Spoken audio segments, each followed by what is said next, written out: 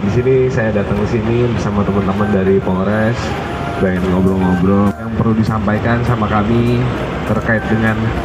apa kegiatan Bapak Ibu di sini, apa yang perlu eh, disampaikan silakan disampaikan. Misalkan Pak,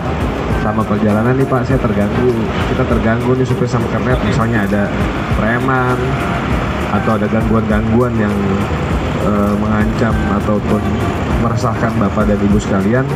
silakan disampaikan kepada kami. Insya Allah bisa kita akan segera kami tindak lanjuti karena eh, tugas kami di sini adalah menjaga dan memelihara serta eh, mengamankan Bapak Ibu semua dalam bekerja supaya aman ya, cari nafkahnya enak, nggak ada gangguan dari mana pun.